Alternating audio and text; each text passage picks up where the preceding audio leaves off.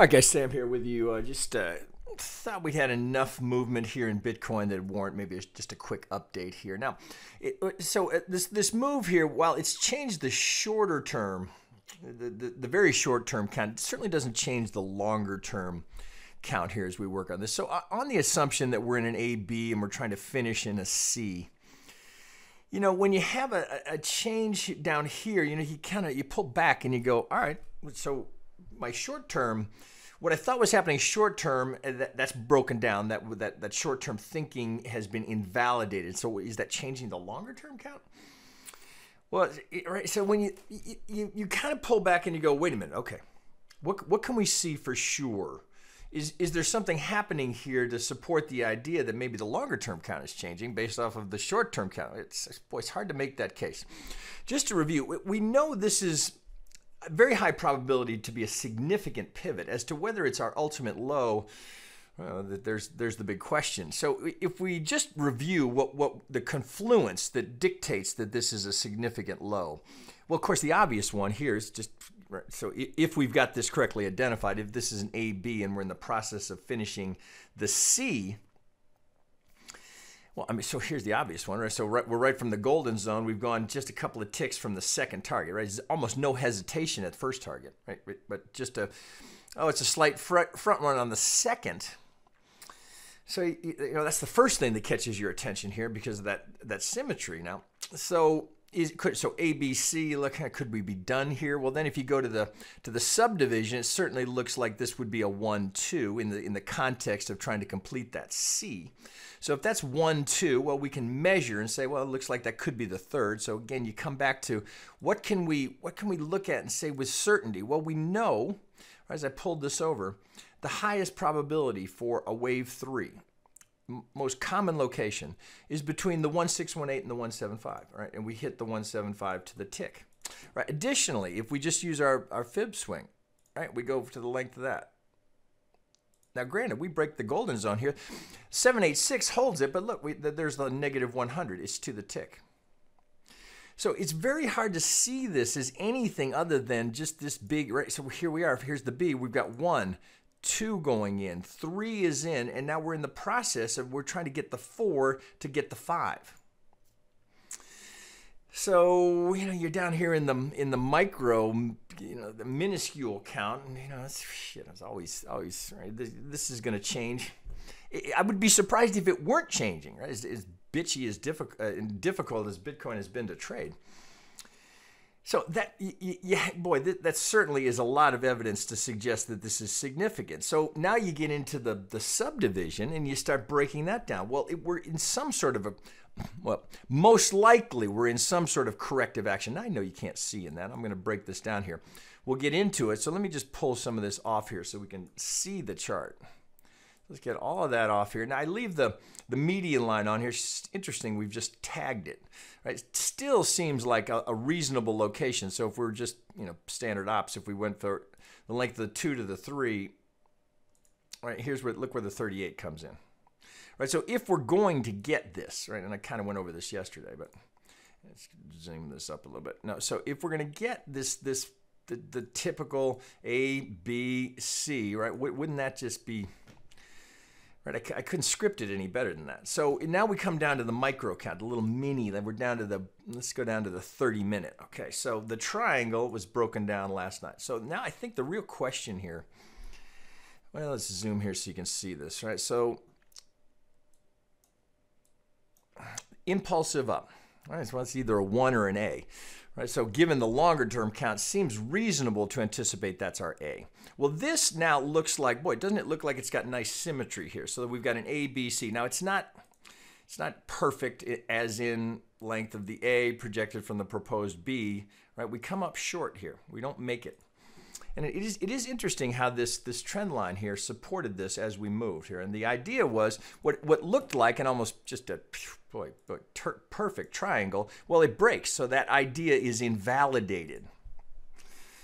Right, so what, what you know, shit, what, what are you going to do, right? So it's not, it, it, invalidates. So, okay, so what do we do, right? So if it, the question then becomes, I, I really think, so note here, now we can pull this off of here are we done? So is this part of the correction complete? If this is A, B, and we're down here for the C. Let's finish that. The, the, despite that we don't get that technical precision that you'd, you'd, be looking for. So the next question, right, is that a sign of strength that we don't make the 100%? You don't, you, you don't have a, a, a set of median lines that nails it. Right, so if we look here, now I've got a modifier on that. So let's go back to original. Right, so is you could look at that and think, hmm, okay, trading principle number four, failure to make the median line sets up a move equal to or greater than the move that failed to get there. Right, equal to or greater than. Well, what does that do to our count? Would that would that alter the longer term count? Well, this if we if this is potentially now a sign of strength in that we don't make the hundred, this trend line seems to hold it. The triangle idea breaks down. Is this a significant pivot? Are we done here? A, B, C. Now we're going up to in the larger context of, of completing the A. The B now is in, and we're going up for the C. Well, you got to consider the, the symmetry matters. So let's just clean this up a little bit get some of this out of here. Okay, so let me get that off here. Okay, so here's the, the trend line break here that breaks down the idea of the triangle. So I think the real question, get this off here. The, the question we have to ask ourselves here is uh, are, is this move uh, is this move here relative to this move in the context of that wave subdivision? And I think with with the breakdown of the potential triangle that would have completed this in more in better in better symmetry. So if this were going to finish down here, we could make that case that as it looked like it was 3 4 and if the well the triangle would have been over here. If that was going to break down, then it looks like that's related. That this this whole move here is relative to to within the subdivision. With this move here now you have to ask yourself now is that could that be because certainly an alternate would be, oh, well, we're just putting in an ABC. Right, and but now getting to the subdivision here, this doesn't look like it's finished, right? So if this is one, two, three, maybe four, and that, right, the, the three may not even be done. Well, now the symmetry starts to get get all wrong here. So if this is one, two, and that were to be the three, and this would be the four up here, and we're coming down here for that, well, that's just right, just all wrong. Right? Just, just they don't look like they're related. So then you have to come back to this move down here and say, well, could we be done here? Well, there is a way to finish it here. We had considered this the three because the the subdivision played a little bit better, and because that was a pretty good looking triangle, right? So it's always it's always just the potential. It's never it's never the absolute. So now you look at it and say, well, that's that's not what we got. So this looks to be, to my eye, as though we've finished here. So could this be the C in of the B and now we're starting up?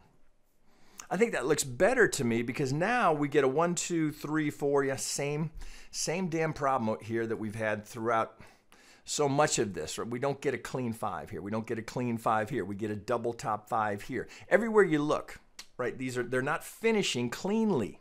With the poss- one exception here, we did get a, a very pretty ending diagonal here for this fifth. But it, this five, this five, this five, they're not, they're not, well, you can't dig the subdivision out, right? Particularly as you come down to the four, five. But I think this is more likely complete now as we move away from it because of that symmetry issue. So if that is complete, well, then we got to look about, uh, you know, so the, consider the alternate. So think of it this way. So if that's complete, we've got a completed five wave. We come down here, we finish. Well, what have we done? We're just coming up to the 50. So the the the ultra bearish alternate would be that this we were just doing this was completed as a one two, right? That that's the right. If that's potentially just putting in a two, we we got a long way down to fall, right? So I'm I'm not prepared to go there. I mean, I'm amused by let's call them commenters right? When I when I make a bearish call, there is no bigger bull of Bitcoin that I know of than than I am, right? I, I'm I am an uber bull long term. Trying to get the short term count here, shit, you know. Just welcome to the party, right? It's never easy with Bitcoin here because, all right. So what what do you do with that, right? Is that just a pump? Look how many of these we have. Look, here's one. Here's the pump down, pump up, pump up, pump up, pump down. It's a lack of contain of of consistent trend, right? It's just it's just violent chop right? Abrupt moves. They look, they just, all of it. Here, I'm on a 30 minute chart. I mean, just pull, pull it up yourself, right? Look how many of these straight up, straight down, straight up, straight down. It's all over the place. Makes it very difficult. So all you can do is work with your tools. What, where are the probability zones? Well, if this is done, if we're done down here and this B is in, well, we're looking for now a motive wave to come off of that low. So is that a reasonable case? But you're going to bump into this. We know we're going to bump into that, right? That's just straight right, right, right to the POC, right? So this is visible range, but you can see you can see all of this trading here. You can understand why this is the the, the POCs right here. Right? It's most trading, most agreed upon price of this entire move in terms of what we can see. Right where we land, and then we back off. So now, how, how is that subdivision play? So if this is complete, now we're trying to, if this is done here, we're trying to go, well, so probably get, you know, one A, B, C into a two. Well, right, so here looks like, so if you if this is one, two, it looks like one, two, three, four, five of three, still still trying to finish here to get that three, A, B, C down for the four and then we're up for the five, but that's just completing the three.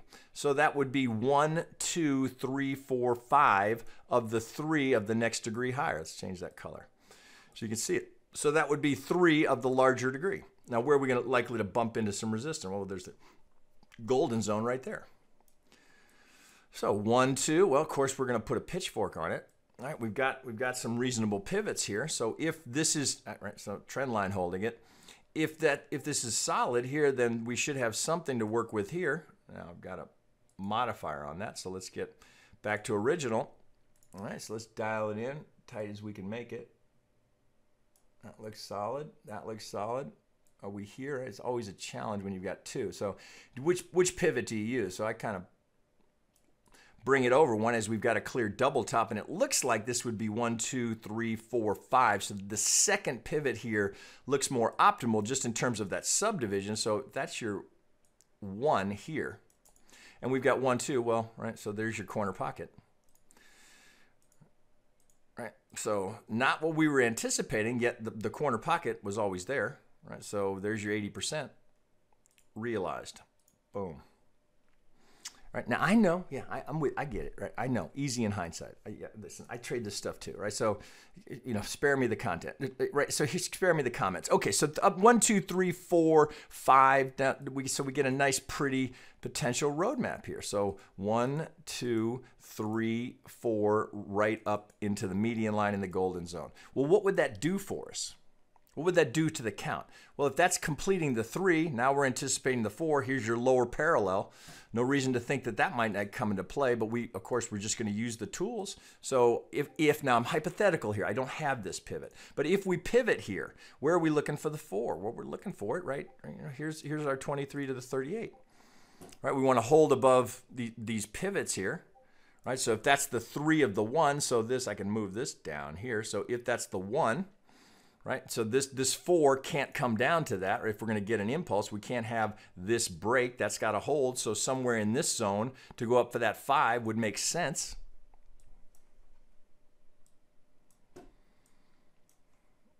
Are they related? Right? This looks like it's now done with that with this little pump move we had overnight. So, you know, to trade it, you know, this is you know, unless you're in here trading the little mini swings, it's just there's so much confusion here to be aggressive on the bullish side. Well, sure, that's a nice move. What do we get there? 36.86 to you know, it's two hundred dollar move there. There's nothing wrong with that. I mean, that's not, that's a nice for for a short term scalp trade. There's what's what's wrong with that? Nothing wrong with that. So if you got if you got that, good for you, right? If you were if you were on the looking on the short side, course, you know, as I remind you, I'm not one to be shorting Bitcoin. I don't ever. Oh, rarely do I ever short. Not that I've never, I just so very rarely do it.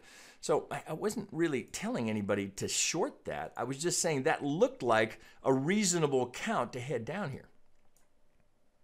With that breaking here, so wh where's the next play? Well, if you're if you want to be on the long side, as I prefer to be, would strike me that the next opportunity here is to let this finish, unless you want to try and play the four into the five, and get the larger, confirm this. Let's get this confirmed. get a we got a four to a five, right? That's a reasonable trade, right? But be realistic about how far that can go. then the whole thing, right? So you, this we're going to have to break out of this. If this is going to be a solid count, if we if we've got a good pivot here, then we need to get certainly we need to get beyond this pivot. If this if we're going to have the low in here and we're going up to finish what I would propose to you is the C wave before the potential to head back down to finish the larger count in 5, well, this is this has got some ways to go, right? There's there's a long way to go if we're going to go up to that 38 kind of even. So here here's the 38 here we would be anticipating. So this could very well just be the one of the one of the four. Right, long long way for that to go. Where, where's that? It's it's called the 38 is well, let's call it 5,000, right? Just to round up round it, right? It'll be different exchange to exchange. So we're sitting here. Where where are we sitting right now? Oh, where's my price? so where, where are we here? We're down. Jesus, can't even see it. All right, so we're sitting at 37.91, and we got a target of 5,000. Well, you got 1,300 bucks of upside here before you're going to hit any likely any significant resistance. Of course, you got to get through the 50 in the golden zone here. That's 3,800. So, right, I would I would just be you know why again you know this it's it's it's so erratic why why force anything or chase anything so one count breaks down so is there a way to, to deal with what's now happened as a result of that so i don't think we change the larger count it's just about timing this so there's opportunity in here on the long side if this is if this is going to continue. But I would keep be mindful of the larger degree, which still implies that there's one more move down here to finish the the, the entire move, the entire correction. Just doesn't seem like it's done yet, right? But as I will remind you, and I think I make a pretty good point of uh, trying to convey this. I'm wrong all the time. Any good trader who tells you that they're not wrong more than they're right is full of shit. Don't believe it's the first time someone tells you that, delete, remove, unfollow. That's bullshit. I've worked with some of the most successful traders on the planet. They are all wrong more than they're right. Get used to it, guys. All right, see you later.